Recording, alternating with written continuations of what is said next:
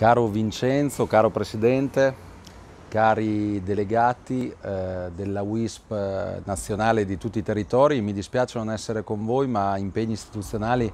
mi trattengono nella mia regione ma ci tenevo anche per l'amicizia e il rapporto di collaborazione che abbiamo avuto col vostro Presidente sia prima in Emilia Romagna poi a livello nazionale, anche in qualità di Presidente della Conferenza delle Regioni Italiane in questi ultimi tre anni e mezzo, ci tenevo a mandarvi un saluto e qualche riflessione, a partire dal fatto che eh, il terzo settore per noi è qualcosa di rilevante e importante. Quando dico per noi ovviamente mi riferisco alle regioni, più in particolare alla regione Emilia-Romagna. Peraltro da subito, da quattro anni fa, quando fui eletto presidente dell'Emilia-Romagna, io ottenni, sorprendendo tanti, la delega allo sport. Il motivo è molto semplice, perché lo sport per le regioni è sempre stata una delega,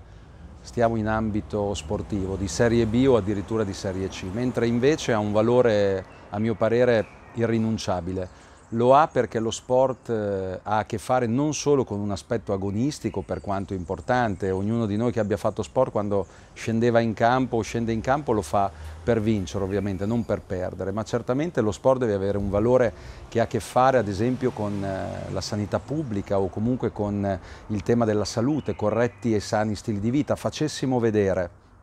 la curva di spesa delle eh, dei paesi dove, dove c'è un benessere diffuso eh, rispetto ad esempio a come contrastare, non so, per dire l'obesità nella popolazione magari persino più giovane, eh, rispetto a quanto invece si risparmierebbe di soldi pubblici, di spesa pubblica, magari impiegandola in cose più utili e più virtuose, se ad esempio aumentasse il numero di coloro, dai bambini ma fino all'età eh, diciamola così, diversamente giovane, in cui si facesse attività motoria, attività sportiva.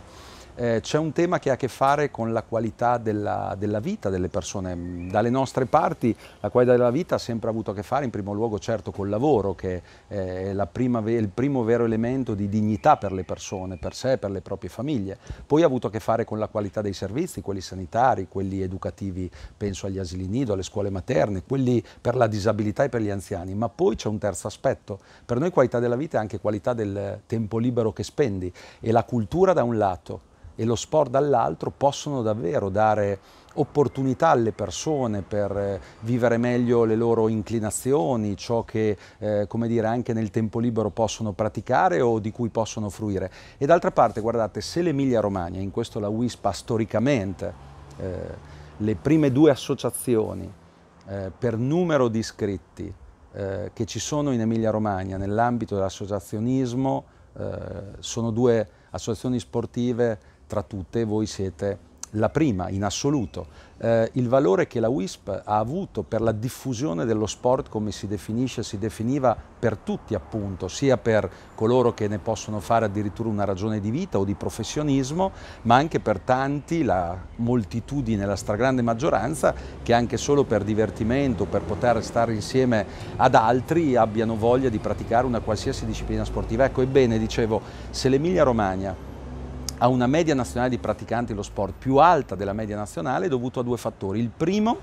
una diffusione di impianti sportivi straordinaria e credo che abbiamo condiviso un fatto anche di novità per l'Emilia Romagna. Mai era successo che, come è accaduto lo scorso anno, l'Emilia Romagna attraverso addirittura fondi di sviluppo e coesione, fondi europei, mettesse ben 40 milioni di euro per realizzare col cofinanziamento dei comuni, arriviamo a 100 milioni di euro, ben 140 impianti sportivi in altrettanti comuni. Perché? Perché abbiamo detto ogni comune può presentare una sola proposta, un solo progetto. Certo, questo penalizza le grandi città, ma pensate che opportunità per i piccolissimi e piccoli e medi comuni, dove l'impianto sportivo spesso vale la chiesa o il municipio in termini di coesione sociale. Ecco, impiantistica sportiva diffusa, necessaria, che abbatte ad esempio anche tutte le barriere architettoniche, permette a chiunque di potervi accedere senza problemi e senza limiti, ma dall'altra il secondo elemento, in questo voi ne siete stati, andatene orgogliosi, andatene orgogliosi perché ne siete protagonisti,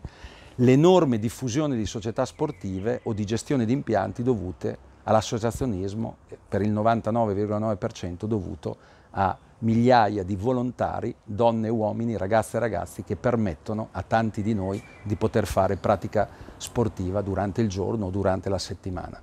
Ecco, eh, io penso che abbia un grande valore se la coprogettazione persino delle politiche pubbliche possa avvenire attraverso il terzo settore. Da questo punto di vista abbiamo le carte in regola. Credo che inedito tra le regioni italiane,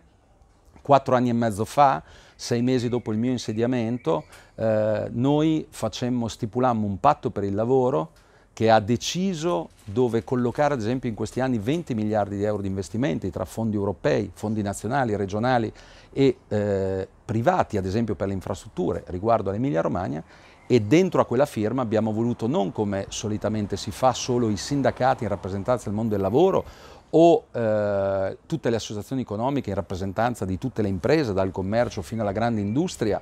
eh, o gli enti locali ovviamente, le province, i comuni. Abbiamo voluto anche per la prima volta il forum del terzo settore, perché crediamo che dobbiate avere un ruolo sempre più propositivo e sempre più importante dal punto di vista della condivisione delle politiche, ognuno peraltro nella propria reciproca autonomia, che si fanno nei territori. Il secondo aspetto, io penso che sia meritoria la battaglia che state provando a condurre, anche insieme ad altri enti di promozione sportiva, per andare a verificare quali sono le tessere, tra virgolette, vere, che hanno una credibilità, piuttosto che un mercificio che non fa bene a nessuno. Io penso che prima o poi bisognerà davvero arrivare a una sorta di bollino di qualità per coloro che fanno davvero associazionismo nella forma e nella maniera più corretta e coloro che invece lo fanno più per lucrare qualche euro piuttosto che avere tra i propri valori quello della diffusione della pratica sportiva attraverso l'associazionismo e il volontariato. Il terzo è arrivare a una politica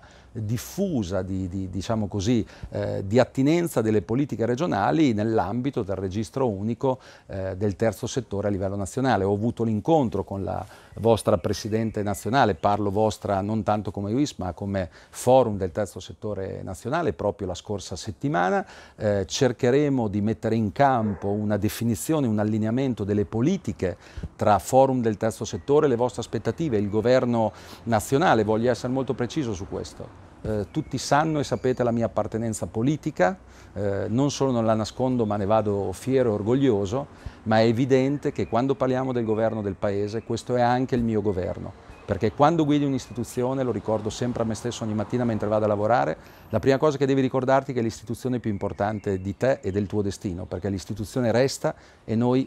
rimaniamo qualche anno e poi passiamo e soprattutto, secondo aspetto, ricordo sempre a me stesso che quando guidi un'istituzione negli anni in cui la sei la guida, tu devi rappresentare la tua comunità, anche coloro non solo che ti non ti hanno votato, ma anche che sai già non ti voteranno mai. Così dovrebbe essere il rapporto tra istituzioni e dunque tra governo centrale,